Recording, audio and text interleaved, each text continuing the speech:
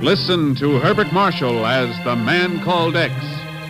Wherever there is mystery, adventure, intrigue, in all the strange and dangerous places of the world, there you will find the man called X.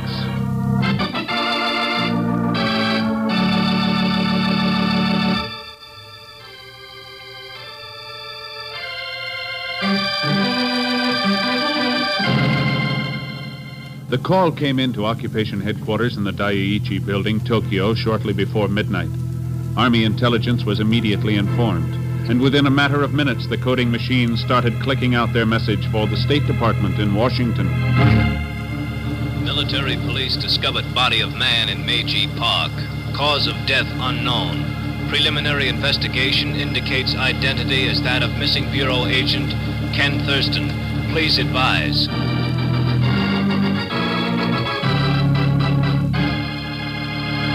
Miss Brooks! Miss Brooks! Yes, sir? Have you got through to Tokyo yet? No, sir, not yet. We're still trying, but the wires. I don't care how busy they are. I've got to talk to them. Now get me some action. Fast. Yes, sir. I'll try immediately. Suppose it had to happen someday. Ken Thurston. All the dirty, rotten things to. All right, Zellschmidt, what do you want? I just wanted to tell you something, something very important about the late dear departed Mr. Thurston. Well, Uh, something I'm sure you never realized, Mr. Chief. what's that? I I happen to be his one and only heir. What? Well, that, that's right, that's right. So many times he told me, Pagan, he told me, when I go, I, I wish to leave everything to you. Now, wait a minute. Unfortunately, I don't know where all his assets are. but uh, but if you would help me to locate them for a slight consideration, of course. Zellschmidt, you're the most hypocritical, unscrupulous, iniquitous. But- but- but Get Mr. out of my office. Yes. Hello. You sound dyspeptic, Chief. What the devil business did about. Ken. Huh? That's right. Ken. But it can't be. The report of your death. Colonel Brandt of G2. Oh, ah, there's a slight mix-up in identity. The dead man was wearing a raincoat I'd lent him a couple of weeks ago. My name was on the label. Well, I'm sorry for him, whoever he was, but. Well, I'm sure glad to hear you, Ken. Thanks, Chief. But where the devil have you been this last week? No word from you? Then that report? I, I was behind the red lines in Korea, checking on some... Oh, but that's not important now. Oh? What is? I want you to send Pagan out here right away with everything we've got in the files on Professor Charles Reynolds. Professor Reynolds, the expert on atomic radiation? That's right. You remember him. Oh, of course. The last I heard, he was working on a defense against the A bomb, an antidote for the deadly radiation, trying to find a way to avoid certain death from overexposure to radioactive uh, materials. Yeah. You know what it means if we could have such a cure. And I think he was darn close to finding it. Well, but what's all that got to do with you in Tokyo? The man who borrowed my raincoat was Professor Reynolds. Murdered? They haven't diagnosed the cause of death yet. Hmm. Was he working in Tokyo on that antidote for radiation poisoning? That's right. With Professor Kurosudu. And if he found it, and some foreign agent had learned about it, Yeah, yeah. I'll send Zellschmidt with those files over on the first plane. Where'll he find you? have him try Sumaido Hospital. Sumaido Hospital. Yes, Reynolds joined the research staff there. Just a week before he died.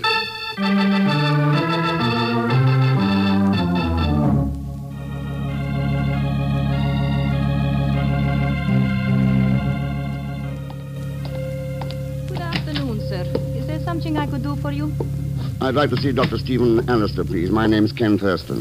Dr. Alister is occupied at the moment. I am Nastya Karpovna, his assistant. Could I help you? I'm afraid not, Miss Karpovna, unless you happen to know the result of the autopsy on Professor Reynolds. I see.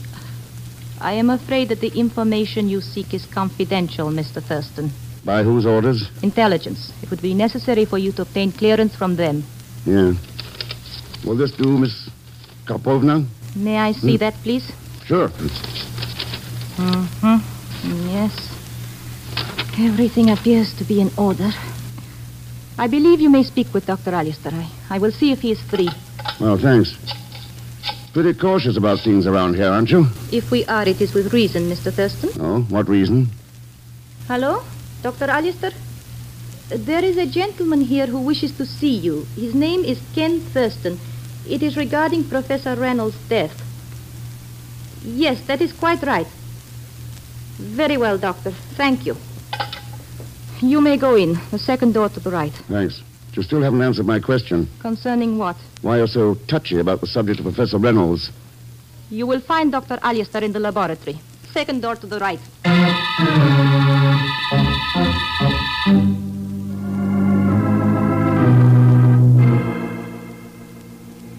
Nastya said you were here about poor Reynolds. That right, Thurston? It is, Doctor. What can you tell me about him? I presume you have proper official approval and all that. Nastya would never have let you in otherwise. Excellent girl, all business, no nonsense. Yeah, I noticed that. Reynolds did too, quite taken by her ability. Matter of fact, they spent more time working on his experiments than she did on mine. Those experiments of his, Doctor, they concern the effects of radiation and how to counteract them, eh? Oh, you're familiar with that, eh? Yes, quite right. Reynolds had a theory that the lethal effect of overexposure to deadly radiation could be stopped completely. His goal was a compound that could be given hypodermically. It's a pretty radical concept, wasn't it? In my opinion, yes. And I can assure you he hadn't got anywhere. Hadn't found an antidote for radiation poisoning. What makes you so certain about that, Dr. Alistair? The autopsy report on his death, Thurston. Professor Reynolds died from overexposure to some radioactive material.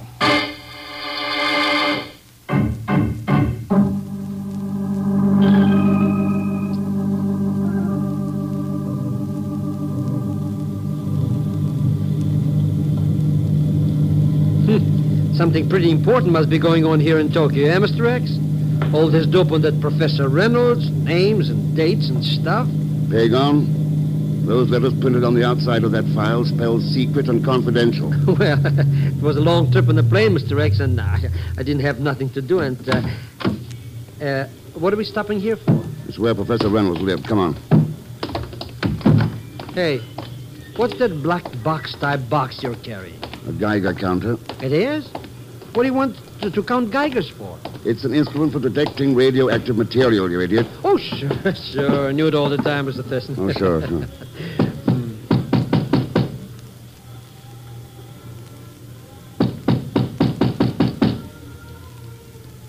No, nobody home, Mr. X. But I'd be happy to see if I could uh, pick that lock open for you. For a slight consideration, of course. hey, where did you get that key? It was Reynolds. Intelligence Department gave it to me. Oh, what a dirty trick. Boy, look at all this joint. What happened here, anyways? Somebody must have been looking for something.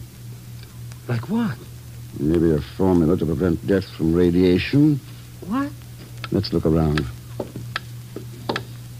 Hey, I- I'm hearing a funny noise, Mr. X. It's this Geiger counter. There's some kind of radioactive material around, but it's not in this room. Let's try the bedroom. Yeah, it's in here, all right. Sounds like it might be. Sure, the bed. Pull off the bedclothes, Pagan, and the mattress. Huh? Pull them off. Oh, sure, sure. So they're off. So what? Look there at the bed spring. Hey, hey, there's something tied to it. See? That little metal packet. Don't touch it. That's what killed Professor Reynolds. That little thing? That little thing is a hospital capsule of radium. Radium. A night or two of sleeping in that bed exposed to those rays would be enough to kill an elephant. You mean Professor Reynolds was murdered? Yeah. Oh, it's only the phone. Hello. Do I have the pleasure of speaking to Mr. Ken Thurston? That's right. Who's that? My name is of little import, Mr. Thurston, if you have determined the case of Professor Reynolds' untimely death. And if I have? Then perhaps you will be interested to learn that, in a manner of speaking, Professor Reynolds is still alive. Alive, what the devil are you talking about? Who are you? The answer to all that you seek lies in the clicking Buddha, Mr. Thurston. Clicking Buddha? I shall be happy to turn it over to you if you will but call Hello? What's happened there? Hello? the Buddha, Mr. Thurston. It was. Hello? What's going on there? Hello? Hello?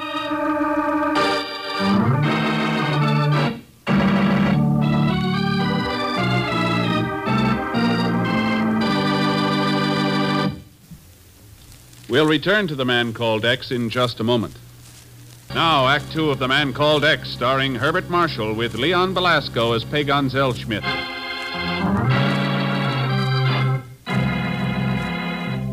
When Professor Reynolds, working on a cure for the deadly effect of atomic radiation, was found dead in Tokyo, Ken Thurston suspected that some other country was after the professor's formula. And now Ken is at the Sumaido Hospital talking with Dr. Stephen Allister. If what you say is true, Thurston, then Reynolds was deliberately murdered. That's right, Doctor. But who could have had the means, the opportunity to murder Reynolds in that bizarre fashion? I thought you might be able to tell me. I? Yeah, you've got radium here at the hospital, haven't you? Naturally. But so have every other major hospital in Tokyo. Yeah, I know, but Professor Reynolds wasn't conducting his experiments at other hospitals. Yes, that's a point. Nastaya, my dear, would you mind coming into the laboratory for a moment? Thank you. Nastaya has charge of the vault where we keep all the radioactive material. She should be able to give us a check on whether radium from here was used as the uh, deadly weapon. You wish to see me, Dr. Alistair? Come in, my dear, come in. Yes. Tell me, Nastaya, is there any radium missing from the hospital supply? Missing radium? Hardly, Dr. Alistair. You're sure of that? Perhaps you would like to check our supply vault personally, Mr. Thurston? If you don't mind. Of course not. I will wait for you in my office. I'm afraid we've hurt the poor girl's feelings, Thurston. But I'm certain that one result of all this will be pleasing to me. What's that? Removing Sumaido Hospital and its staff from your list of, shall we say, suspects. You'll have to be a lot more cooperative to make me believe that, Doctor. You're joking, of course. I've been waiting for you to mention the one man who would really know about Reynolds' formula. Professor Kurisudo. Kurisudo. Yeah, the man who was working with Reynolds on his experiments. Well, you're certainly thorough enough, Thurston. How'd you know about Kurisudo? I've done some checking. But what's more important is why you didn't mention him. I wish to protect the hospital from any further notoriety. How does that figure? Professor Kurisudo is missing, and has been ever since the night Reynolds was found dead.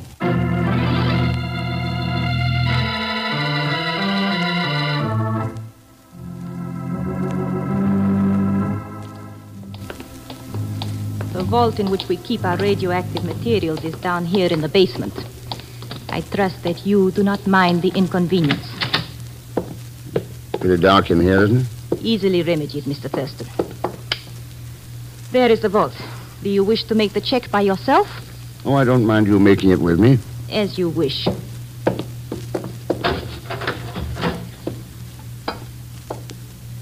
You see, we take no chances on losing any precious radioactive materials. You don't take any chances on accidents from radiation leakage, either. No. The entire vault is made of lead, and the Geiger counter in the wall gives immediate warning of any exposure.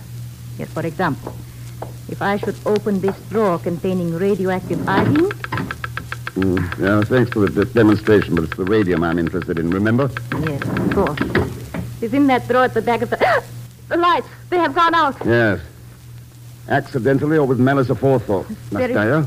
An emergency switch just outside the vault. I, I will have them on again in a minute.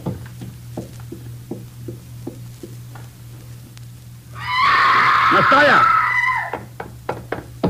What happened out there? Nastya! Oh, if I don't find the lights. Ah!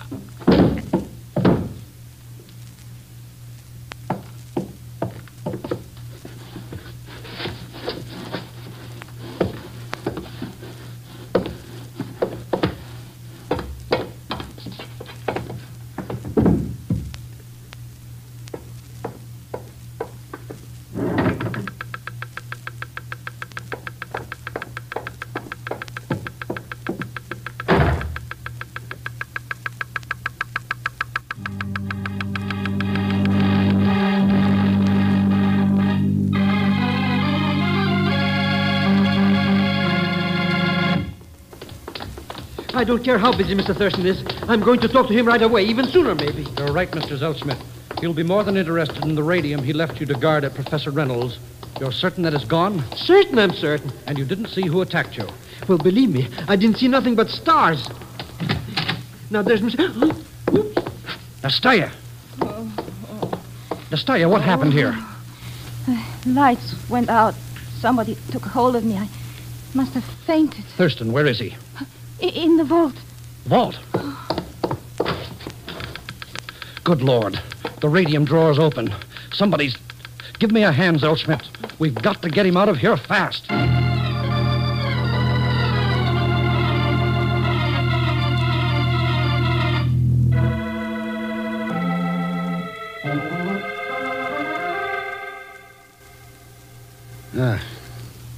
Radium at Professor Reynolds' house is missing. That's right, Mr. Thurston, but but it wasn't my fault, honest. No, no, of course not. And I imagine your radium inventory is right up to snuff, Alistair. It is, Thurston. I just checked it. Of course, we don't know whether it was that way when you entered the vault or was replaced while you were unconscious. Ah, So where does it all this put us anyway, Mr. Thurston? simple, Pagan. Right back where we started.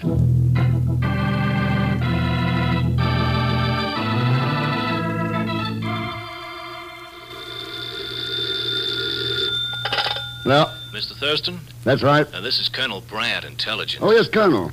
What do you have for me? Well, we finally traced that phone call, the one you received at Professor Reynolds' apartment. Good. Where'd it come from? A small cottage out in the suburbs on Matsuma Road, 183. 183 Matsuma Road. That's right, Mr. Thurston. Oh, uh, by the way, you want some of my men out there with you? Not this time, Colonel. If I find what I think I'll find, it's already too late.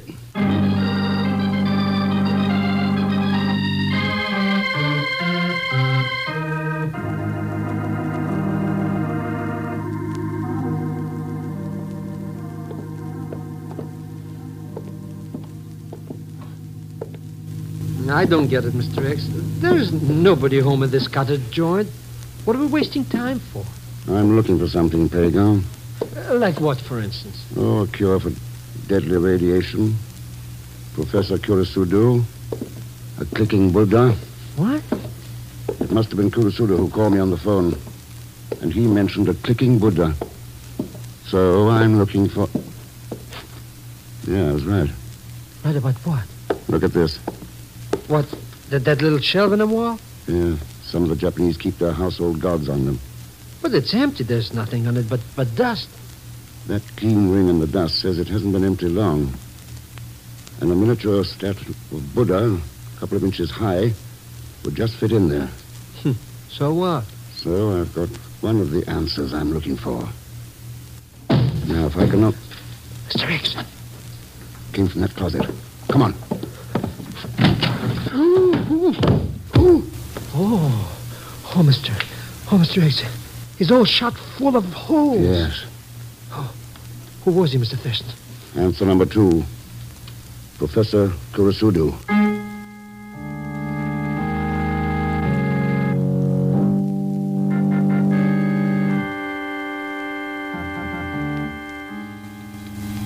I presume that there is some legitimate reason for forcing us to attend this, this meeting, Colonel Brandt. No one forced you, Miss Karpovna. It's merely a request. Request.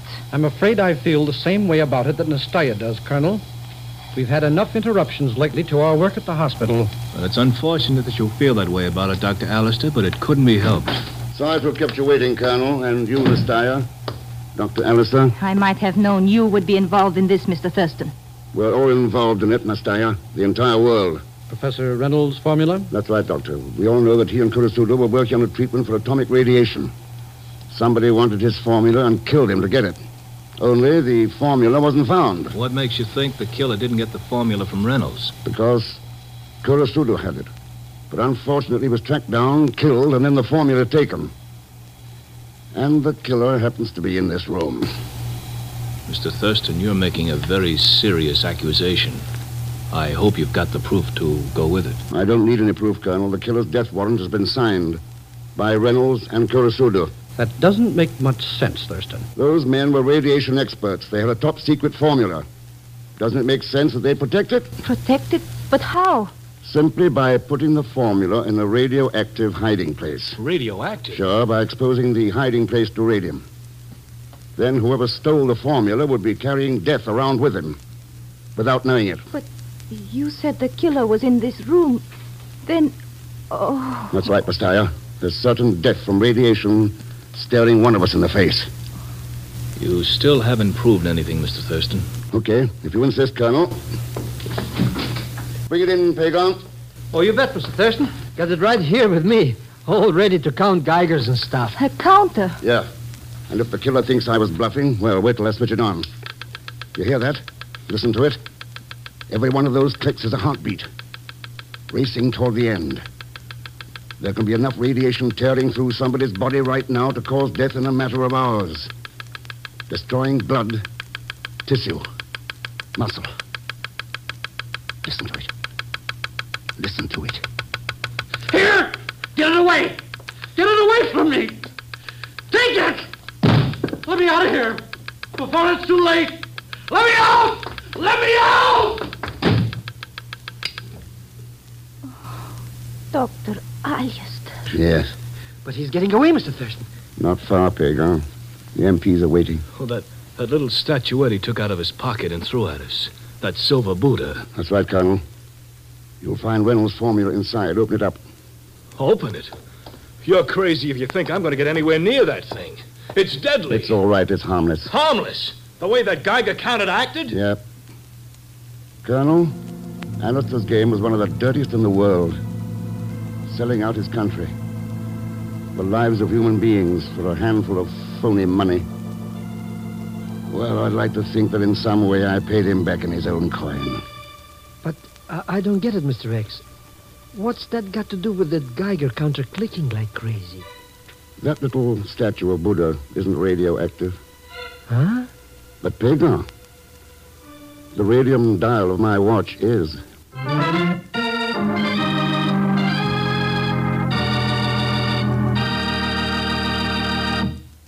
And now here's our star, Mr. Herbert Marshall.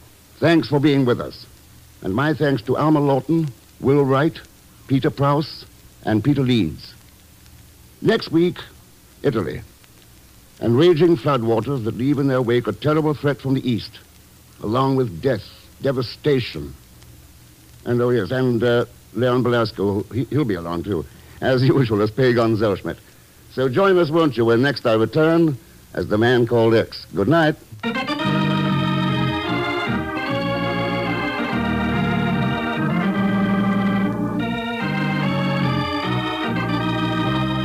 Man Called X, starring Herbert Marshall, is a J. Richard Kennedy production with music by Milton Charles. Tonight's story was written by Sidney Marshall. This program is directed by Jack Johnstone.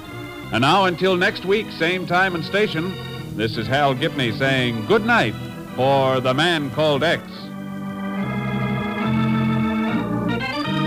This is NBC, the national broadcasting company.